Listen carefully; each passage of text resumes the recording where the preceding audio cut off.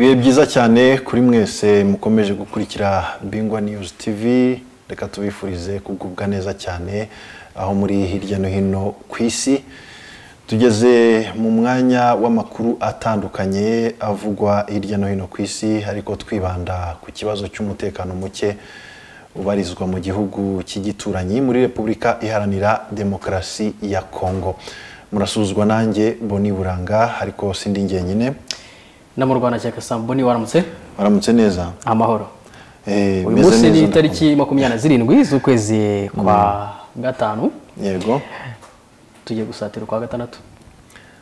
Turerekeza hagati mu mwaka. Umwaka neza urarangiye muntu wisuzuma niba hari ikintu wavuze ko uzahigura mu mwaka nizere ko uri kubigeraho. Komeza wisuzume urebe ko biri kugenda neza. Kwikorera evaluation. Iyo umuntu ageze muri kimwe cya kabiri cy'umwaka eh, aba agomba kwitekerezaho akareba aho ageze. Ariko nanone haba hagisigaye igihe Eh, niyo mpamvu nyine iki gihe ugomba kureba se ibyo naratangiye ibyo natangiye ngeze kuri kangahe ku ijana. Mm, ndabura igihe kingana iki kugira ngo achievement zanjye zigereho? Yego.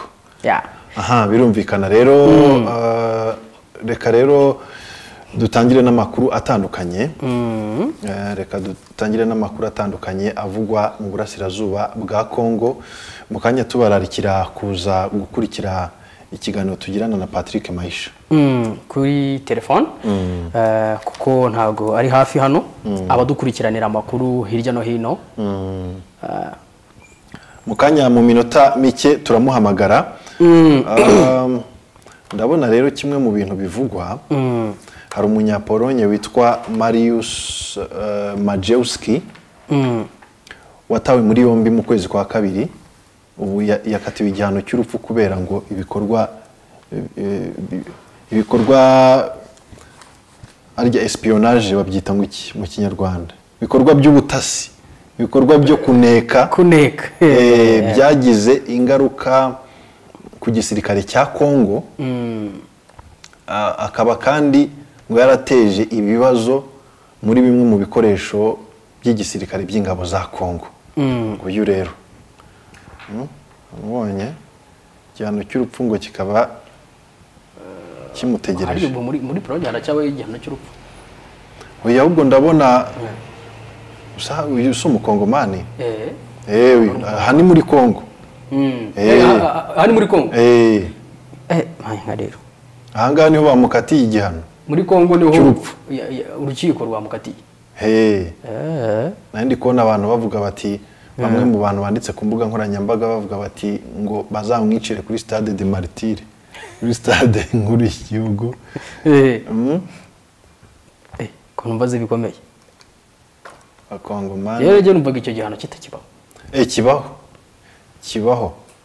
Mm. Ki- cyaragaruwe cyaragaruwe muri kongo Ntibuka- ko bakigaruye eh, ngo kikagomba kuzahabwa abantu bazajya bagaragaraho ubugambanyi cyane cyane mu gisirikare Mm. Eh, ubugambanyi kwifatanya n'abanzi b'igihugu ibintu nk'ibyo ngibyo. Eh, cyari cyarakuweho muri kongo ariko ba- barakigaruye ahubwo ikintu umuntu yakwibaza polonye ibi bintu izabyemera. nta kintu bivugaho? Irabivugaho iki? Nta kintu bari batangaza. Turakomeza tubikurikirane ariko si sintekereza ko bamufata ngo bamwicire muri Ah, kongo ah. bamukatire eh? ntabwo byashoboka. Buriya baragira icyo babitangazaho. Byanga bikunda ntabwo bakwica umuntu w'ikindi gihugu. Igihugu kitaragira icyo kivugaho. Mm. gishobora kuba cyabyemeye gishobora kuba cyavuze mu mukatire uko mubishaka. Cyangwa we niba ufite ubwenegihugu bwa kongo Ah, ni ukuza kubikurikirana ariko ibyo byose ntibabikora igihugu cye kitabizi. Ahari wenda buriya cya- igihugu cye cyaba cyaravuze kiti nimukore uko mubishaka ko mubyumva bijyanye n'umutekano wanyu. Kubera ko kongo muri iyi minsi inabanye neza na polonye ejo eh, nari ndi kubona eh, uburyo eh, perezida wa polonye yari ari gusaba imbabazi cisekedi ngo ku magambo yaba yaravugiye i kigali. Kuko mu minsi yashize yavuze yuko ngo ashobora kuba yatera u Rwanda inkunga nk'uko Polonye yatera inkunga n'ikindi gihugu nk'uko eh, ngo ashobora kuba yafasha u Rwanda mu gihe rwaba ruri mu bibazo nk'uko yafashije na Ukraine. Mm. Eh, ubwo rero umubano mwiza bari gutsura hagati y'impande zombi ibyo ari byo byose iki kibazo perezida wa polonye ntiyaba atakizi. Eh? Oya, ntabwo Uru- batekereza. uru- buriya arakizi ahubwo ntituramenya ngo biravugwaho iki n'ubuyobozi bwa polonye Mm. Eh. ibyo ni ugukomeza kubikurikirana Mm. Ah, hanyuma rero reka mbere y'uko tujya mu yandi makuru reka tubanze tuvugishe patrick mahisha tumenye ibivugwa ku mirongo y'urugamba Mm. Eh, tumenye uko hirya no hino muri teritwari zitandukanye haramutse. Noneho turaza gukomeza n'ayandi makuru atandukanye avugwa. Ah, reka turebe ko twamufatisha. Turebe ko twamufatisha ariko eh, haravugwa amakuru y'imirambo mirongo itatu n'ibiri. Mhm. yambaye impuzankano ya ya ya ya, ya FARDC yabonetse hehe? Muri rya shyamba eh, rya eh, mu ishyamba rya ya kibira. Ah, mu burundi? Aho ni mu burundi turabigarukaho. Eh, mwaramutseho neza mahisha mwaramutse boni mumeze mute? Eh tumeze neza turi aho. Akazuba turi kubona aha namwe ka- kari kubageraho? Eh kigali saa kumi n'ebyiri n'igice ryari ryavuye. Mm, twatangiye ikiganiro rero reka tubanze tubahe umwanya mubwire abadukurikiye updates amakuru avugwa hirya no hino muri teritwari zo muri kivu y'amajyaruguru. N'ahandi hose bikenewe. Ah, ni byo ah, reka duhere mu mujyi wa goma. Reka duhere mu mujyi wa goma mu mujyi wa goma. Ah, mu by'ukuri hari havuga amasasu menshi mu gace ka mugunga. Ahagana saa mbiri za nijoro ni amasasu yamaze hafi isaha yose avugira muri kariya gace. Mm. amakuru twamenye ni uko eh, abazalendu abazalendu eh, cyane bariya banyatura bavuye muri za masisi bari bateye mu rugo rwa mugenzi wabo nawe w'umupariko nawe w'umuzalendu witwa kigingi. Ni generali autoproclame. Eh, muri uru rugo rero rwa kigingi harimo umugore n'abana ah, mu by'ukuri ntabwo kigingi haba kigingi nawe afite umutwe wa pareko o- ukorera eh, mu bice bya za gatoyi. Ni ukuvuga ngo uyu kigingi ngira ngo twagiye tumuvugaho inshuro nyinshi kigingi ni umuntu nubwo wenda akora nk'umuzarendu ariko ni umuntu ushyira mu gaciro. Ah, mu minsi yashize eh, bagiye batwara inka z'abatutsi ba- b'abanyekongo ba- akagenda azigarura izindi arazirinda ubundi nabo arabarinda. Ubwo rero eh, ni kenshi bagiye bagira bate eh, bagiye bamurega ibirego bavuga yuko ashyigikiye abatutsi ariko eh, leta ntigire icyo imutwara. Ubwo rero eh, ku munsi w'ejo bundi ah, mu cyumweru gishize ubwo emu makumyabiri na gatatu yafataga biriya bice bya za ngungu nahe hari inka bari batwaye bariya bazarendu bagenzi be eh, bazitwaye aza kuzigaruza.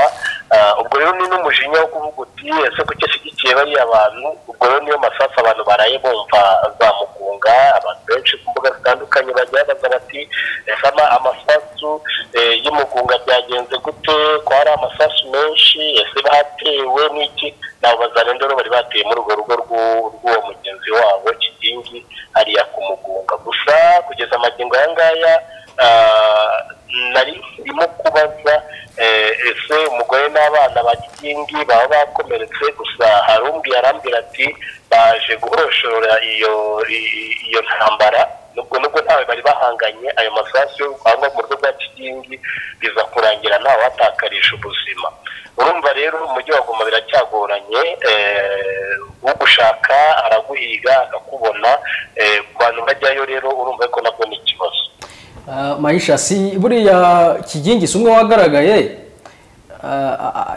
y- y- nawe yifatanyije n'ingabo za emu makumyabiri na gatatu? Eh, oya mu minsi ishize kigingi yagaragaye ari kumwe n'uwo bita sukisa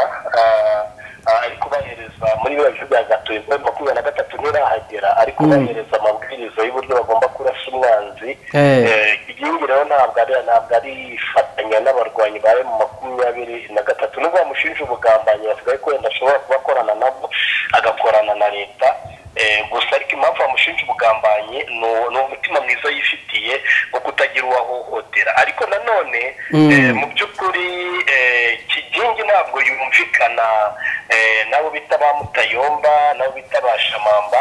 Eh, dore ko ni komfuri zabo zimaze iminsi na mbere bagifite za rubaya na masisi eh, bagifite ibice byinshi.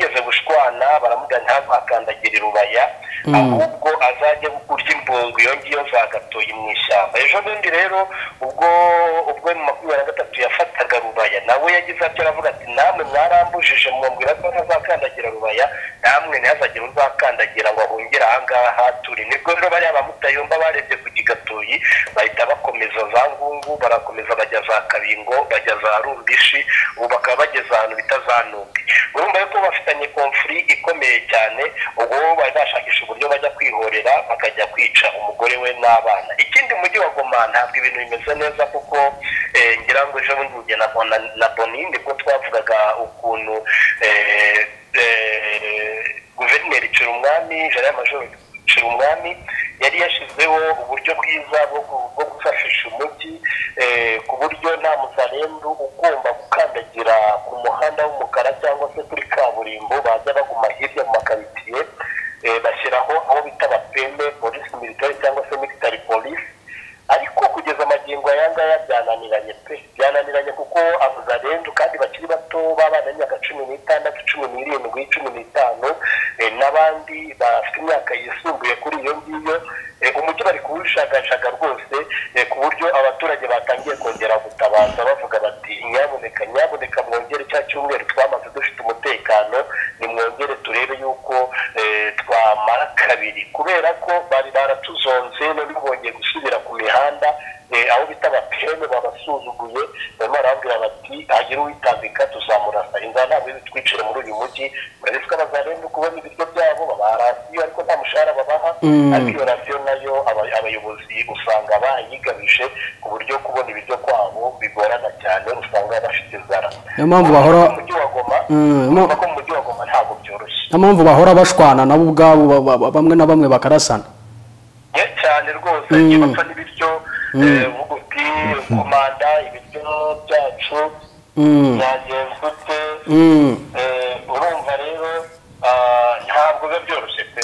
Muri aya masaha umujyi wa Goma byifashe gute? Urumva amasasu yarayawuvugamo abazarendu bagenda bagenda hirya no hino hari n'imitwe myinshi ya gisirikari eh, yitwara gisirikari. Eh, urumva umujyi wa goma uri mu kaga uri mu kaga cyane urumva kuba uzengurutswe n'abarwanyi bari mu makumyabiri na gatatu ikiriho rero magingo aya ngaya icyo twabwira wenda abajya abajya mu mujyi wa goma birinde kujya hirya no hino. Gusa mu mujyi ho leta iracyagerageza kuba hagaruka umutekano kuba haba umutekano. Mm. ariko kujya hirya no hino byo ni ikibazo boni ah, ubona yuko gishobora guteza ibindi bibazo. Ku muntu rero ugenda muri uriya mujyi birinde kujya hirya no hino ahubwo mu mujyi wa goma rwagati hariya muri centre commercial ho nta kibazo gihari bakomeza bagakomeza activite zabo. Aha reka twerekeze muri rucuru rero haravugwa imirwano hari amakuru nabonye ko eh, ku munsi w'ejo ngo humvikanye imbunda nto n'iziremereye ahitwa kiyagara ngo ni mu birometero nka mirongo itatu hafi ya nyabayonga. Cyangwa se uvuye eh, kanyabayonga Ah, muri rucuru haravugwa iki? Kanyabayonga bimeze bite? Reka duhere muri rucuru tuze kugenda tuvuga n'ahandi uko bimeze. Ya ni byo muri rucuru n'ejo twabivuze ubwo bari mu kiganiro. Ah, aho ngaho hose za kibirizi za mirangi za eh, Bi- birundure aho hose ejo habereye imirwano ah, ku buryo bavugaga imbunda ziremereye eh, ndetse n'imbunda nto. Ariko ikigaragara cyo ni uko ah, abarwanyi ba FRDC bashatse kwendereza abarwanyi ba makumyabiri na gatatu ah, gusa ibyaje kurangira M makumyabiri na gatatu eh, yegereye Mirangi na Birundure eh, mu birometero bigera muri makumyabiri urumva baba begeye imbere ho gato ibirometero nka bitatu cyangwa bine mu gihe hasigaye ibirometero makumyabiri na bitanu kugira ngo bagere mu mujyi wa kanyabayonga. Aho ngaho ni mu muhanda eh, uciye umuhanda ujya kanyabayonga. Ariko ni ukuvuga ngo uciye inzira za panya ntabwo ibyo birometero bigerayo ni nka cumi na bitanu cyangwa cumi na bitatu Uh, urumva rero uh, imirwano yabaye ku munsi w'ejo ni aho ngaho yabereye eh, ku buryo emu makumyabiri na gatatu ishaka uburyo yafatira imisozi ya kanyabayonga noneho igahirukana abarwanyi ba FARDC bakomeje kuhashinga imbunda ziremereye eh, bazerekeza muri kiriya kibaya cya rwindi. Ari nako FARDC na yo yicara ari ikavuga iti iyi misozi ntabwo tuzayivaho bitewe n'uko iradufasha kuba twatera amabombe muri biriya bice emu makumyabiri na gatatu iherereyemo. Kanyabayonga eh, ubu igihari ni iki? Igihari ni uko hazabera isibaniro nk'isibaniro rya- ryari rimaze iminsi hariya mu mujyi w'isake nubwo byananiranye ubu ngubu bikaba eh, bisa nk'aho byacuguye. Ubu rero umuriro wimukiye hariya za kanyabayonga ariya za rwindi eh, mu nkengero za kanyabayonga. Kugeza amagingo aya ngaya kanyabayonga iracyafitwe na FRDC hanyuma hari umwe mu banyamakuru muri congo wavuze ngo ngo hari aba M23 cumi na babiri ngo baba bafashwe matekwa na FRDC muri ako gace byaba ari byo cyangwa bimeze bite? Tumenyereye ko FRDC burya iyo yafashe umusirikari ufite aho ahuriye na M makumyabiri na gatatu ihita imugaragaza ako kanya. Ya. Urumva rero nta nta foto nta cyabaye eh, kugira ngo umuntu yemeze yuko abasirikare cumi na babiri bafashwe byangora kubyemeza pe byangora kubyemeza. Umuntu yavuga ati nibabazane nibaberekane. Oya ni ukuvuga ngo FARDC iyo iyo iyo yafashe umusirikare mu makumyabiri na gatatu bamaze gufata nka babiri cyangwa batatu. Ihita imugaragaza ako kanya nta n'isaha yashira itamugaragaje. Urumva rero eh, ikiraka cya liyetena koloneli ncike kayiko n'ujya ukunda kubagaragaza ubu aba yamaze kubagaragaza kare. Eh, uretse ko wenda hari kubera ko ari iyo za rwenda ari kure eh, wenda bazabashyira mu ndege abo ngaho bafashe abazana igoma wenda mu minsi mike tuzababona. Tuzabibutsa wenda tuzibutsa leta na ncike ariko tujya tumuhamagara ni umuvugizi wa w'igisirikare muri kivu y'amajyaruguru. Tujya tumuhamagara akadutuka ariko tuzamuhamagara tumubwira ati mwatwereke abo basirikari ba makumyabiri na gatatu bafashe. Ariko hari kuvugwa abasadeke batatu nabo bafashwe ngo na M23 aho sinabyemeza kuko sadeke suzu ngo iracyajya ku rugamba. Mm. yaratinya ntabwo ikigerayo uvuga ngo irajya kuri furo bo bibera kuri bya bibunda kandi ibibunda biba biri mu birometero byinshi uvuye ku murongo w'urugamba. Mm. Eh, bibera muri bya bifaru bigerwa bipaturoringa goma sake eh, goma kirimanyoka. Urumva rero kuvuga ngo ngo umusadeke ngo bafatiye ku rugamba ntabwo bakijyayo pe. Cyakora ari umurundi ari ingabo z'uburundi nakwemera yuko zafatiwe ku rugamba.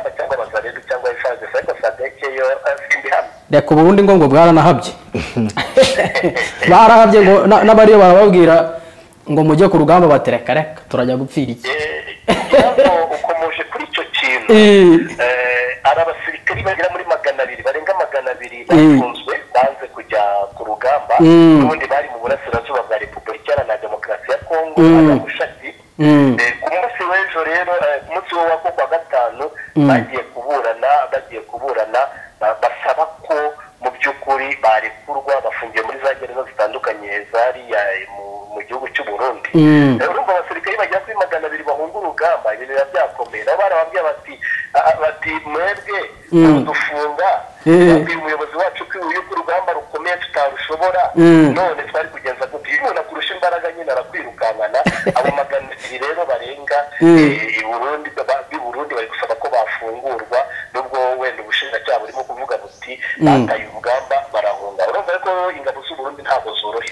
nibafungurwa barajya he mayi birukanwa muri iki gihugu?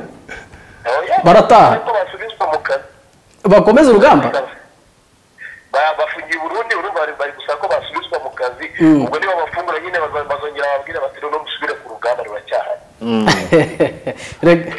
Ha- ha- hanyuma hanyuma eh, biravugwa ko ngo kuri wa musozi wa ndumba ugana muri kivu y'amajyepfo habaho hongeye kumvikana imirwano ikaze cyane guhera saa cyenda z'ijoro. Ya reka tubaze tu- wenda tu- tu- tu- tujire i burundi rimwe ku mu- ku musozi wa ndumba. Eh, i burundi nanone mu ishyamba rya kibira hagaragaye imirambo mirongo itatu n'ibiri. Ya, twari turi kubivugaho hano ariko duhe no ku makuru yabyo neza. Y'abambaye eh, imyambaro ya FRDC imyenda ya FRDC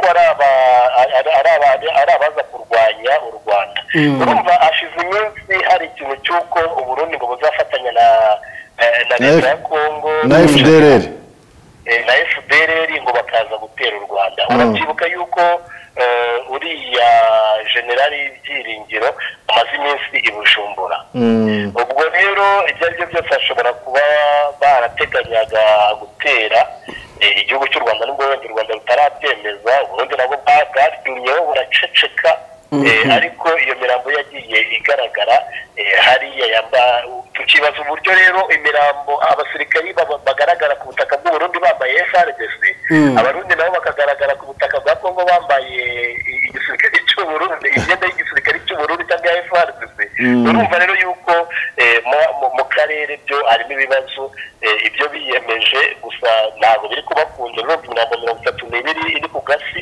eh, ni myinshi ni myinshi ku basirikari. Eh, urumva ntabwo byoroshye hariya. Warumbwiye ndumba umusozi tutaragera kuri ndumba wenda umuntu yanatekereza ko n'aba FDLR bajyayo bambaye imyambaro ya Kongo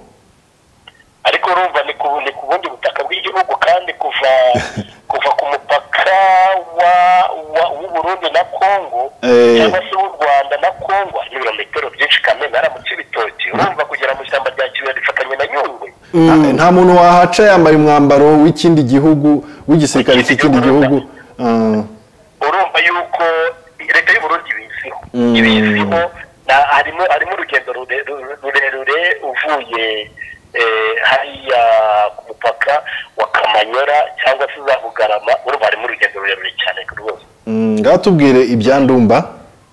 Ndumvaho n'ubundi imirwano irakomeje eh, kuko uriya musozi emu makumyabiri na gatatu ikeneye kuwugumaho uko byagenda kose kuko uriya musozi niwo ubafasha gukontorora uriya muhanda wa eh, uyu muhanda wa wa wa minova bweramana Na Shasha.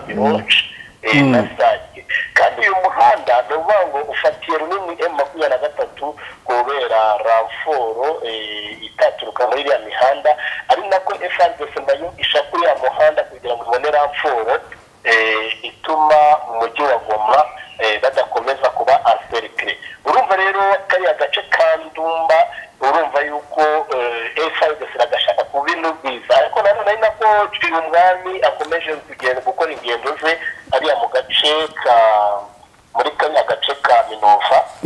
aganiriza abaturage ababwira bati urugamba turakomeje eh, turashaka gufata bino bice byose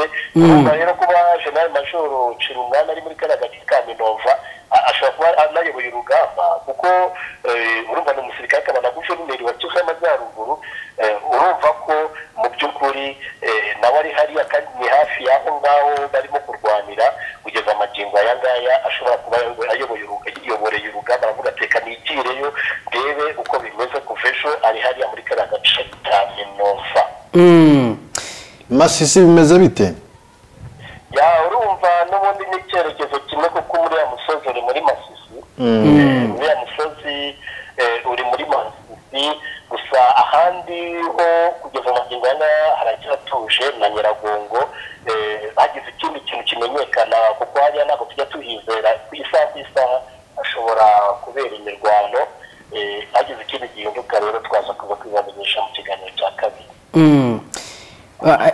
FARDC iri kurwana no kugira ngo ishake uburyo yagaruza rubaya. Mm.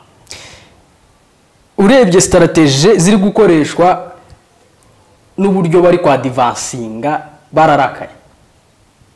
Aya ntabwo rubaya ruba iri kure iri kure y'aho bari.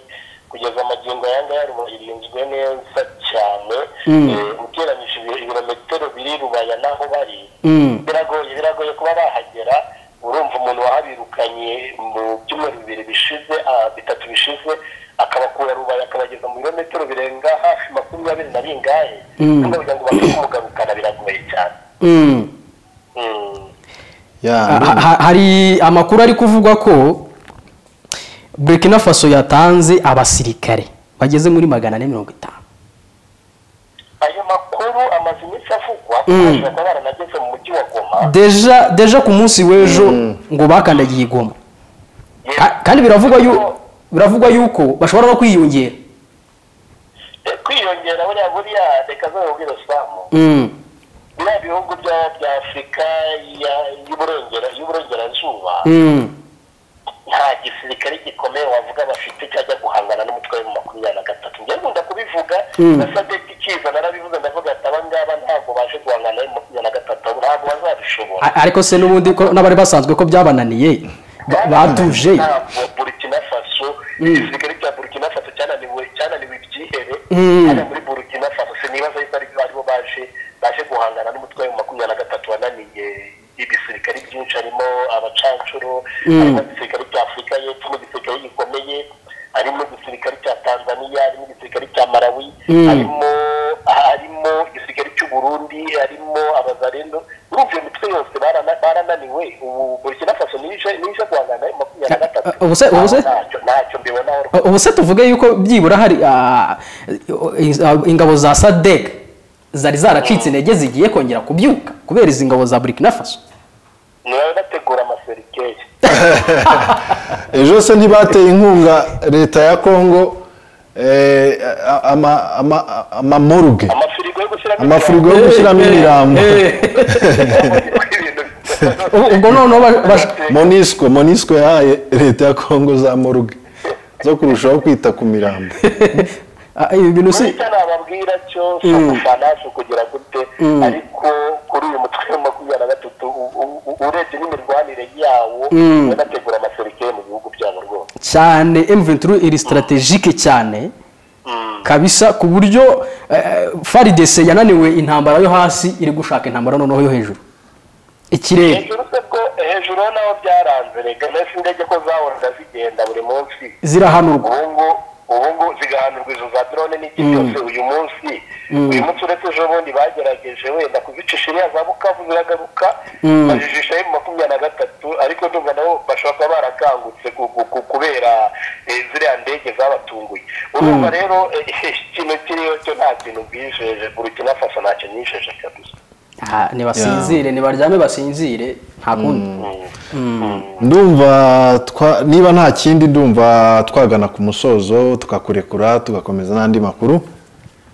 Murakoze cyane. Murakoze nawe. Aha. Boni Mm, kongo ikomeje kuberamo ibintu bitangaje cyane ariko binababaje. Ibyo bihugu byose biri koherezayo abasirikare badatanga umusaruro. Ako boni ndibaza. Reka reka tuganire kuri iki kintu cy'abarundi. Abarundi bari kwiramanta impamvu buriya abarundi ba- ba- batangiye gu- gutinya urugamba hari ikintu bahuriyemo na cyo. Bakomeze kwicwa bafashwe matekwa. Twabonye ingabo z'uburundi cyane kurusha izindi ngabo zafashwe. Binavugwa ko ingabo z'u Burundi ari zo zagerageje ku- kugaragaza imbaraga ku rugamba cyane kurusha na FRDC Eh, impamvu rega i- iyo iyo iyo zitagaragaza imbaraga ntabwo twari kubona abantu bapfa. Ntabwo twari kubona abarundi bapfa. Ntabwo twari kubona abarundi bafashwe. Ni ukuvuga ngo nibo badivansinze kurusha abandi. Ikibazo gihari ni kimwe eh, ni abarundi barwana batazi icyo barwanira. Ntabwo nibo cyo bari kwibaza. Eh, kubera ko buriya perezida w'u Burundi Evariste Ndayishimiye afite ukuntu yaganiriye na perezida wa Kongo Tshisekedi. Eh, baganira uburyo u Burundi buzajya bufasha Kongo mu bijyanye no kwirwanaho. Ariko bikavugwa ko hari deal yakozwe. Irimo n'amafaranga menshi. Eh, ayo mafaranga rero akaba atinjira mu Burundi ngo agere kuri wa musirikare wo hasi wa wundi bohereje ku rugamba ahubwo akaba aribwa n'abo mu nzego zo hejuru bahagarariye igisirikare cyangwa aba- abayobozi bo hejuru.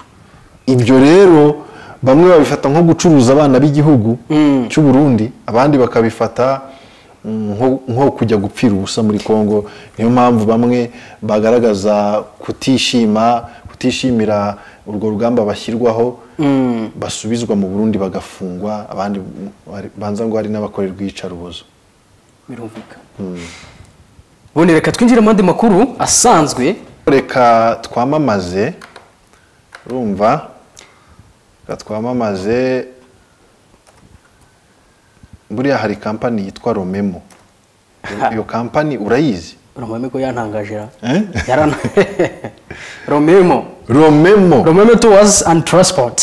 Eh, romemo tours and transport ni kampani wagana ikagufasha kubona imodoka z'amoko atandukanye eh, wifuza gukodesha ah, wifuza kwifashisha muri gahunda zawe zitandukanye harimo ah, harimo za texel harimo za vewiti za Hyundai. Eh, Mm, ni hyundai ahubwo.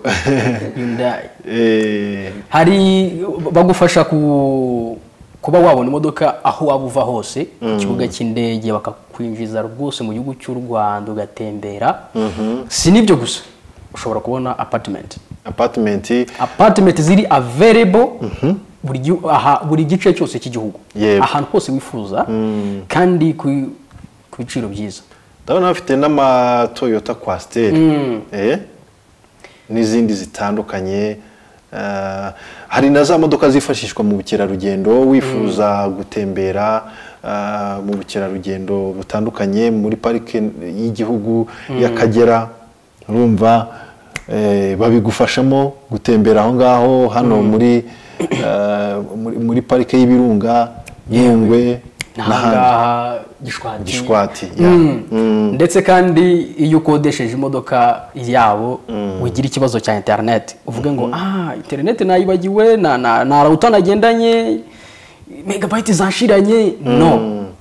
Interineti iri available. Mm. kandi rwose imodoka zabo ushobora kuzikodesha igihe ushobora gufata ukwezi ushobora gufata umunsi igihe cyose ushatse. Yego.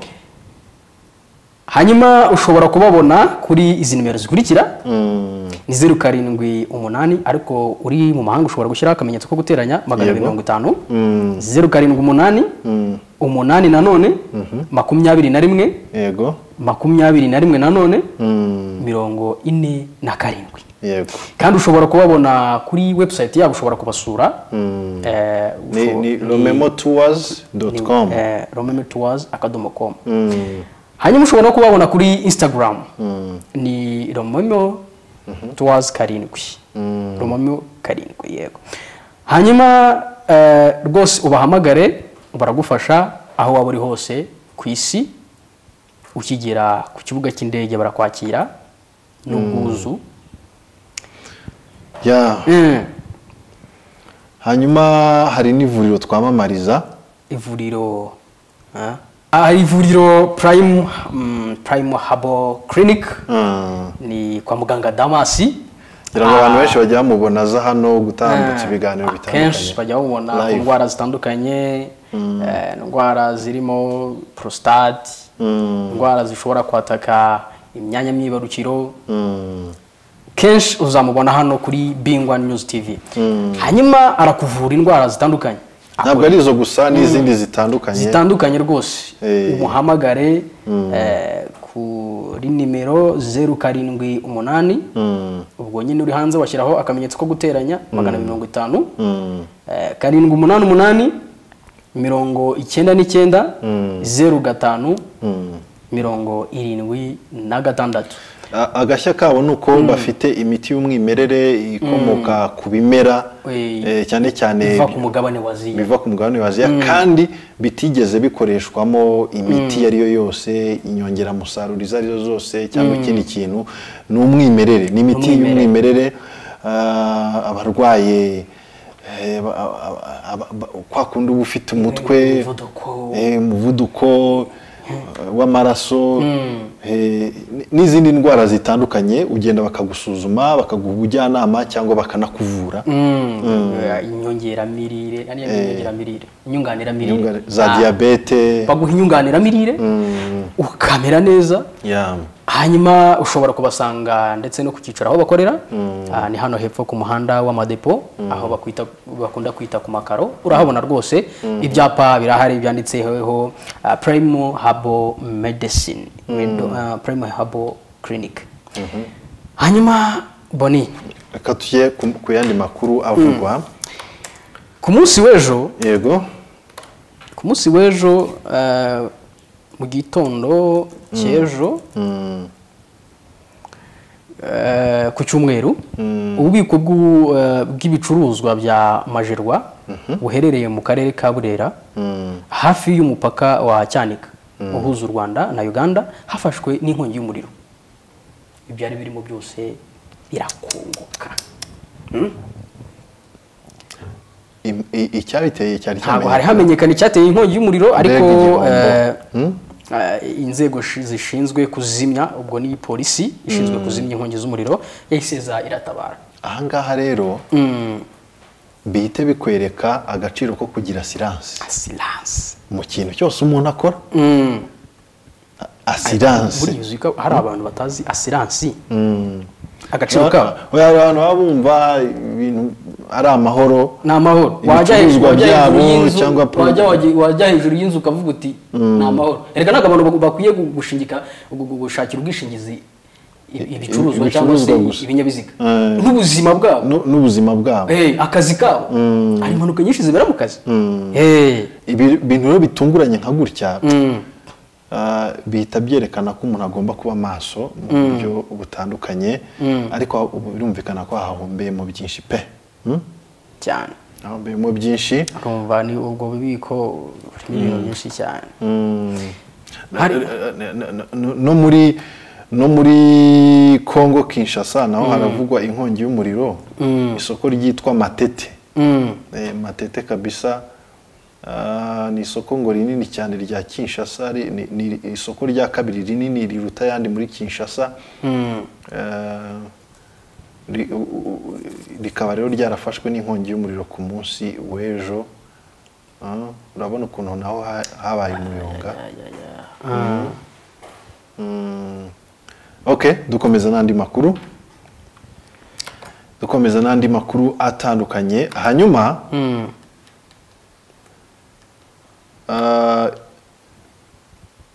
ibintu bijyanye n'amatora na byo tu- tugomba gukomeza kubikurikiranira hafi tukamenya abandi bakandida bakomeje kwigaragaza ariko ntabwo komisiyo y'amatora iratangaza urutonde. Uh, urutonde ntakuka ruzatangazwa kuri makumyabiri n'icyenda. Makumyabiri n'icyenda.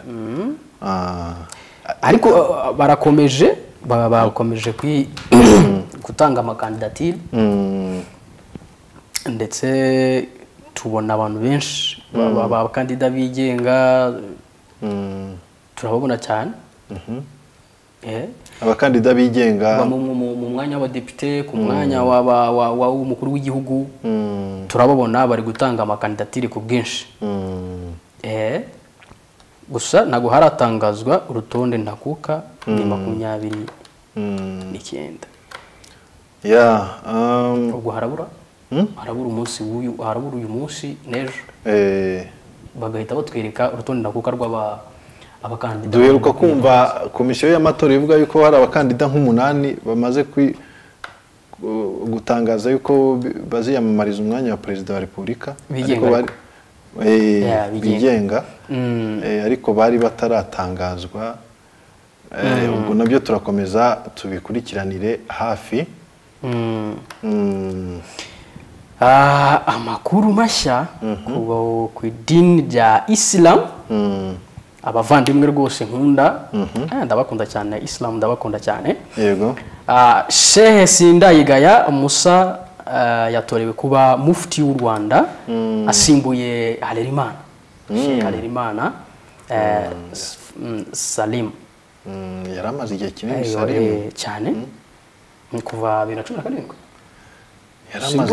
eh, yatorewe ku- kuyobora n'umuryango. Ni muri ibyo bihe? Mm, bibiri na cumi na karindwi. Eh, ni mu matora rero yabaye ejo ku cyumweru.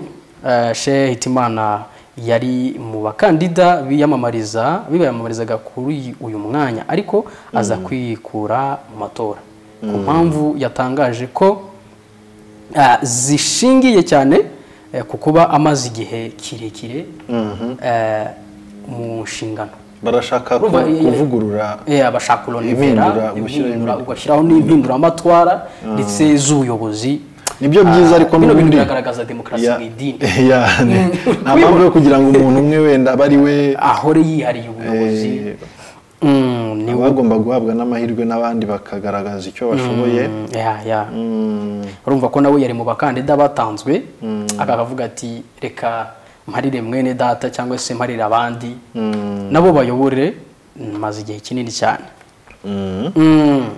hanyuma rero ni amakuru atandukanye akomeje kuvugwa igitero cya isirayeli yihorera kuri hamasi cyakubise inkambi y'impunzi irafa Imirwano rwose. Isiraheli na Hamasi minisiteri y'ubuzima muri gaza igenzurwa na hamas yavuze ko abantu babarirwa muri za mirongo bishwe cyangwa bakomeretswa eh, n'ibi bitero bitewe n'ibiturika byatewe mu nkambi Mm. ya rafa ariko ibi bintu sinzi ko nubwo byatangiye bamwe mu bayisiraheli bashima netanyahu bati rwose uri kuturwanirira iyi ntambara mbabona izasiga inahiritse netanyahu minisitiri w'intebe kuko ararushaho kwica uh, kugira uruhare mu icwa ry'abanyapalestine benshi ariko nanone hakaba hakiri abanyayisiraheli bataragaruzwa bamwe na bamwe. Cyane rwose. Numva atari ikibazo. Ikibazo? Nyuma y'ayo mezi yose hamas ikaba itaratsinsurwa burundu. Hmm? uriya mutwe wigize akarakajyayo Mm, irani iba yate- yateyemo agafaranga.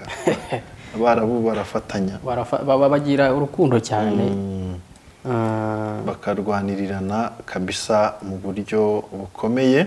Mm. Mm. ya. Hari andi makuru? Ah, ndumva twagana ku musozo ariko. Katugane ku musozo mwakoze kudukurikira. Ah, like share and comment. Ya. Kugira ngo tubone ko mudukurikiye. Twibutsa abantu ko bishoboka ko umuntu yadutera inkunga umuntu yadutera inkunga mu buryo butandukanye umuntu ashobora kuba umu- umumambure icyo bita membership Eh, ashobora ku- ku- kugura membership ku bushobozi ubwo ari bwo bwose guhera ku mafaranga make cyane ashoboka ujya hariya hafi ya y'ahanditse subscribe. cyane cyane nko ku bantu bari hanze ya afurika ukabona ahantu handitse join. Eh, cyangwa se ukajya muri eh, muri description ya video munsi ukareba link ushobora gucamo utera inkunga bingwa news tv boni wakoze cyane? Ah, wakoze sam. reka dushimire mayisha wadufashije eh, akaduha updates atari hano. Ndetse dushimire alfred uri ku buhanga bw'ibyuma. Ah, aba yakoze akazi katoroshye. akazi katoroshye. Imana nk'umugisha Eh. ndetse kandi namwe mwadukurikiye ndetse muri budukurikire ah, aho mwaba muri hose bwaba bwije bwaba bukeye bwaba buri mu gicamunsi. Imana ikomeze kubaha umugisha. Ya bye bye rero kuri mwese.